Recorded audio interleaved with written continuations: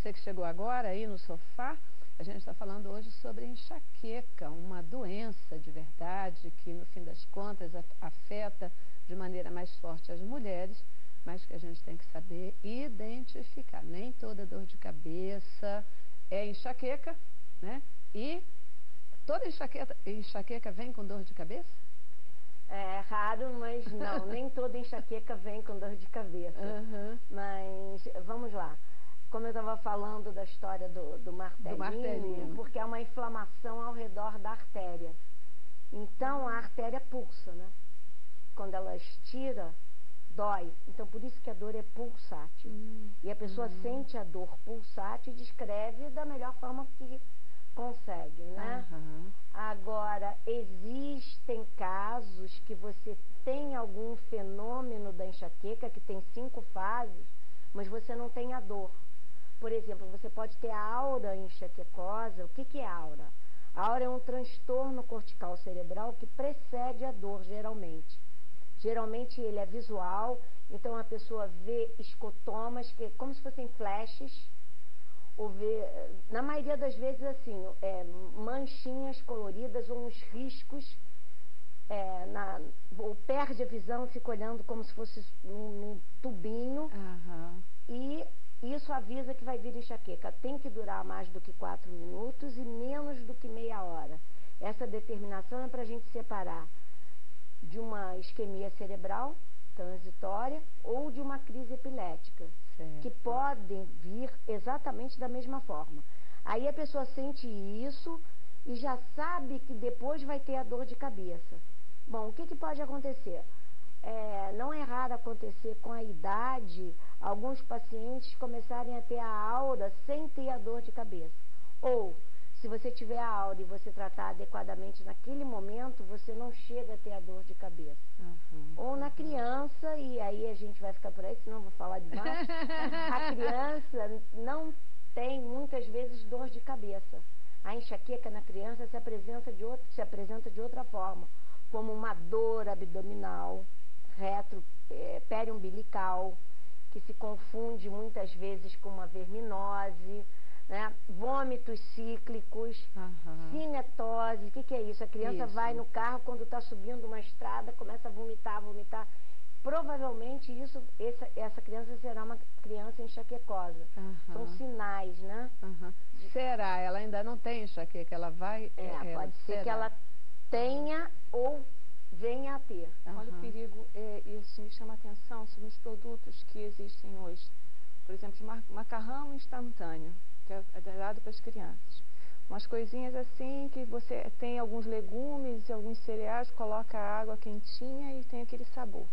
Os biscoitos com sabor de bacon, sabor, sabor variado, presunto, uhum. não sei o que, não tem nada de presunto, não tem nada.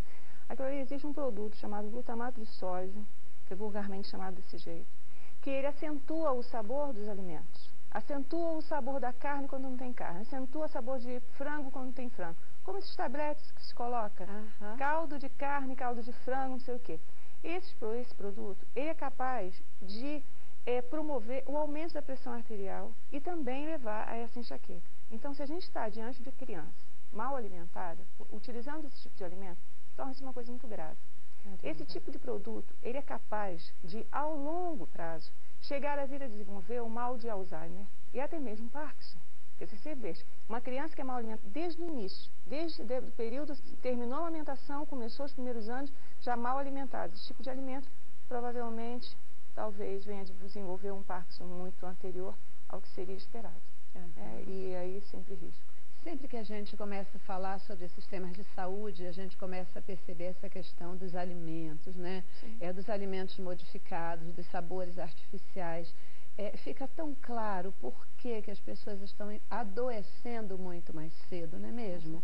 Como que essa comida toda alterada, ela vai provocando é, já crianças mais obesas, a história da pressão arterial mais cedo, Então não tem jeito, né? Tem que prestar atenção na alimentação. Muito. Muito, muito, muito, Cuidado porque a gente está mexendo. É como se fosse uma poupança, né? Uhum. Quando ela dava dinheiro, né? Uhum. então, você aplica hoje uhum. para você colher na terceira idade. Então, existem doenças diversas em que ela já inicia muito, muito cedo. E como a, que não tem nada a ver com esse programa, mas osteoporose. Ela inicia, alguns autores já dizem que é no ventre, quer dizer, a má alimentação da mãe. E essas outras tantas doenças que vão vir, como as questões neurológicas também. Uhum. Sempre vi. Gente, voltando para enxaqueca. É, enxaqueca tem cura? Não, não tem cura. Não Você não pode dizer que tem cura uma doença genética. Tem controle. E muitas vezes o paciente, é, sendo tratado, ele fica anos sem ter crise. Isso não quer dizer que ele está curado. Um belo momento pode vir, né? Então, aproveitando esse gancho, é, o que, que você pode fazer? Uhum. Primeiro, é, você quando você tem dor, você toma analgésico. Isso é uma coisa habitual, todo mundo uhum. faz isso, né? Mas na enxaqueca isso é um problema. Por quê?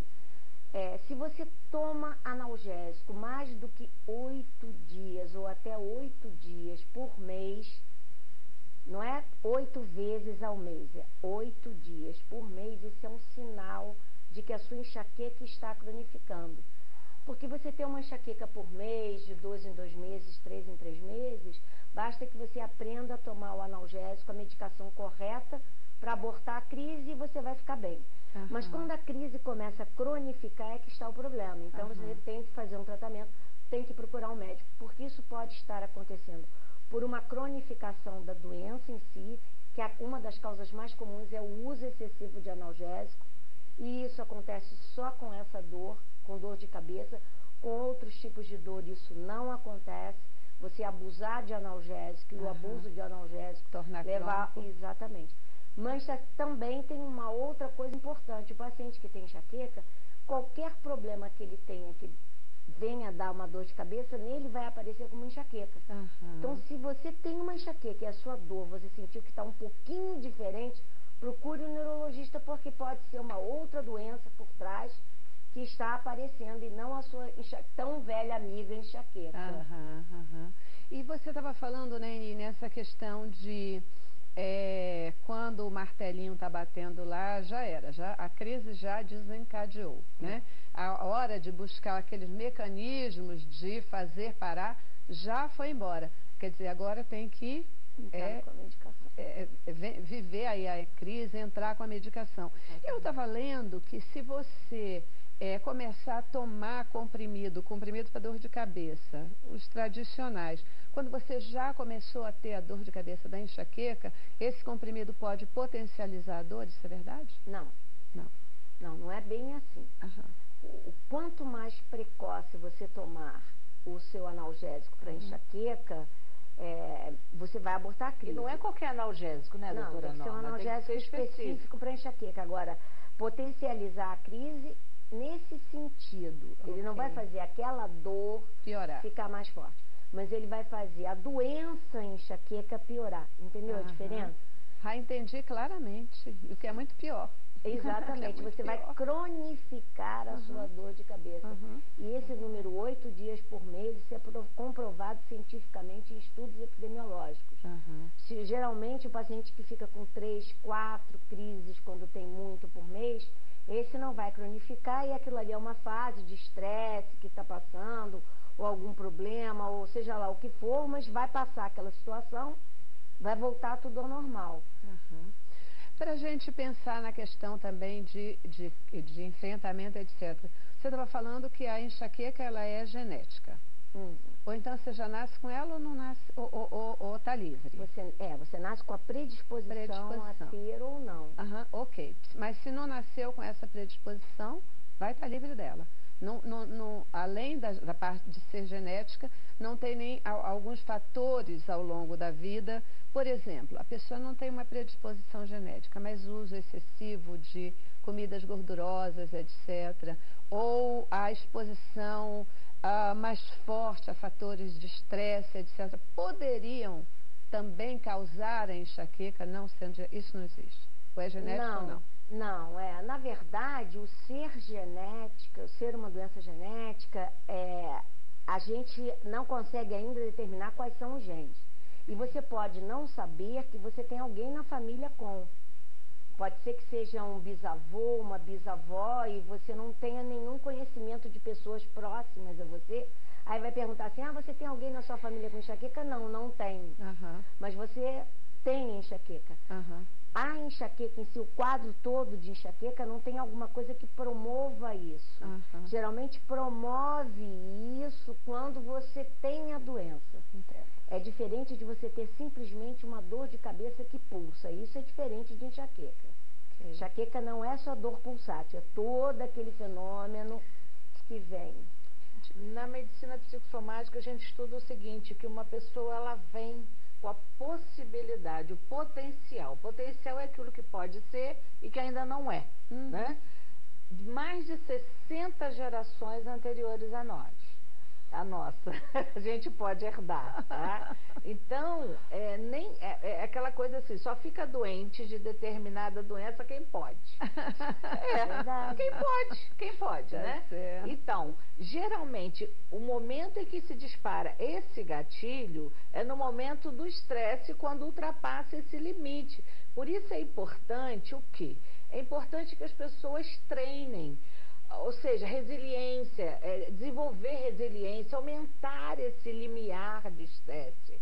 Ou seja, as pessoas inflexíveis, as pessoas muito radicais, elas são muito propensas a entrarem num pique de estresse com muita facilidade. Então, quanto, ui, desculpa, quanto mais flexível, quanto mais você for maleável, né? às vezes ligar aquele botão assim do dane-se para algumas coisas, ter uma, fazer vista grossa, porque tem pessoas que detalhezinho já, já perdeu o dia. Essas pessoas elas têm uma propensão a disparar esse gatilho mais rápido. Até no entendimento claro, dentro disso que você está colocando, Eni, que ninguém é capaz de controlar tudo na vida. Não, né? Nós não temos o controle não tem, não, não, nós é somos humanos. Nós somos humanos. Ninguém controla tudo é necessário que a gente vê, saiba que tem aquela. Quais são as coisas importantes da gente controlar, né? E aquelas da gente flexibilizar, da gente é poder. Exato, é possível. O que, é que faz. Exato. Isso é, faz diferença é para uma vida com qualidade, né? Não é só para enxaqueca, não, para uma pra vida tudo, com qualidade, tudo, né? Tudo, Porque é impossível a gente controlar tudo, né? É, é preciso, às vezes, deixar fluir porque com erro também se aprende, né? Com erro também. E existem várias então, técnicas, aprender, usar a é. respiração devidamente, a frequência respiratória, dormir bem, né, doutora Norma? É. Ter uma noite de sono reparadora, é, é fazer de tudo para ter isso, uma boa alimentação, é isso que ela está falando né? Eu tenho feito muito isso. Eu tirei o sal da minha vida, tirei gordura trans, eu tirei tudo. Eu me sinto melhor, inclusive. Então, tudo isso é importante. Porque ah. não dá para você tirar o agente estressor. Mas dá, existe dá o agente estressor externo e o interno. Uhum. Eu posso lidar com as minhas reações e com o meu agente estressor interno com meus pensamentos e sentimentos e com minha qualidade de alimentação e de vida. Agora, com o que acontece aí fora, eu não tenho controle. Agora, é importante dizer também que isso tudo que está sendo discutido aqui existe, é real e deve ser valorizado, mas com certeza há pessoas que estão assistindo o programa que estão pensando assim: meu Deus, mas eu não sou estressado, eu sou absolutamente tranquilo, tranquila tudo na minha vida vai bem e eu não sei porque eventualmente eu tenho uma crise de enxaqueca e é verdade. Não é sinônimo, enxaqueca é igual a estresse. Isso não é sinônimo. É, o estresse seria um um dos fatores, um dos fatores, dos fatores. De, que disparam o a dor. Assim como glutamato e outras coisas também. Né? O sono irregular, e as de... pessoas que estão pensando isso aí, que você acabou de falar, o que, que você diz para elas? Eu digo para elas o seguinte, que vocês têm que procurar, se a dor de cabeça de vocês é eventual e você não está conseguindo lidar com ela, você tem que procurar um neurologista, porque ele vai saber dizer para você exatamente qual o melhor analgésico que você vai tomar para abortar a sua crise. Uhum. Como você vai lidar com isso? Né? Porque você tem que aprender qual o remédio, em que momento tomar, o que fazer. E não ficar sofrendo desnecessariamente. Porque se você não fizer nada, uma crise de enxaqueca ela vai durar três, quatro dias. Vai te jogar na cama. Então é uma coisa extremamente incapacitante. Perfeito. E entender isso, né? Que é incapacitante, que, é. que eu gostaria de fazer um adendo também que eh, os nossos telespectadores, nesse momento, às vezes, doutora Norma, não têm o autoconhecimento para saber se são realmente estressados ou não. É Porque tem pessoas que se acham, não, eu não tenho problema, eu sou ótimo, eu sou super flexível e tal mas nunca perguntou para ninguém, não fez um 360, sabe como? Uhum, Perguntar uhum, para as pessoas, o que, é que você acha, como que você acha que eu reajo? Porque uhum. a gente conhece as pessoas nas suas reações e não nos seus comportamentos, nas suas ações. Porque na ação você planeja, a reação você é pego de surpresa. Então, observar como estão tá sendo as suas reações. É isso é que a gente vai perceber se essa pessoa ela é tranquila, flexível ou não, porque às vezes a pessoa não se enxerga, ela não tem noção. Essa questão do autoconhecimento é muito importante uhum. também. O introvertido deve ser complicado, né? É. deve ser complicado porque está tudo acontecendo, ele mostra-se tranquilo, aparente faz, sentindo por dentro. Exatamente, isso que a doutora falou a respeito da em que momento que esse gatilho poderá acontecer. Então, não necessariamente que ele vai acontecer na infância, que ele vai acontecer na fase da adolescência ou na terceira idade, seja lá, vai existir alguma coisa que vai provocar. Então, tem a questão da atividade física, tem a questão da alimentação, tem a questão do estresse, tem a questão de várias coisas. E sabendo que ele tem, já carrega com ele a questão genética, que ele tem ou não, sejam as 60 gerações anteriores ou não, né? Quanto cuidado. É, eu posso olhar e ver ninguém, não enxergo ninguém na minha família que tenha tido enxaqueca, mas por 60 para trás a gente não enxerga não. Não tem é como, não enxerga não. Queridas, eu já vou para o nosso intervalo, vou para o intervalo e volto. Queria que a gente falasse um pouquinho, é assim, eu sei que vocês já disseram, mas vamos pontuar um pouco mais é, o que que tendo quais as características e sintomas, né? Que a gente pode dizer, olha, isso aqui é enxaqueca, porque você disse, menos não é, mais pode não ser. Então, qual é essa janela que a gente pode enquadrar para se identificar que temos um quadro de enxaqueca? E que gatilhos? Como é que a gente pode provocar essa, essa, esses gatilhos de evitar né, entrar na crise? É possível evitar a crise? É possível se conhecer a tal ponto de, opa, pera lá, e a gente segurar essa incômoda dor, esse incômodo transtorno da enxaqueca? Ok? Vamos para o intervalo e a gente volta já.